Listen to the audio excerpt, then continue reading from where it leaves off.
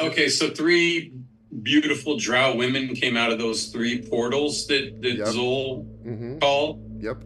And what are they doing? They're just standing there? They're they're just uh, you know very slinkily and sexily stepping out of the portal. They're you know very scantily clad and beautiful, and uh, they all have these uh, slightly wicked smiles, and uh, they're all uh, looking at Zol. And uh, Raynil dropped to his knees. Yes, Ooh, fuck. Ah, Jesus. you're holding your action. No, I'm gonna say.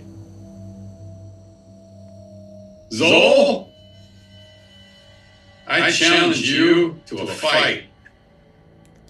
Zol has this weird kind of uh, eerie grin on his face, and uh, he looks at you, and he uh, he laughs.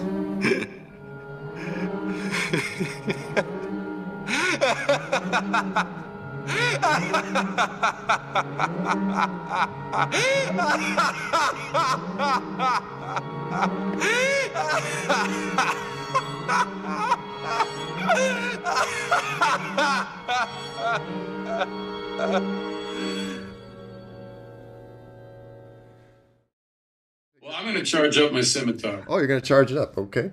Yeah.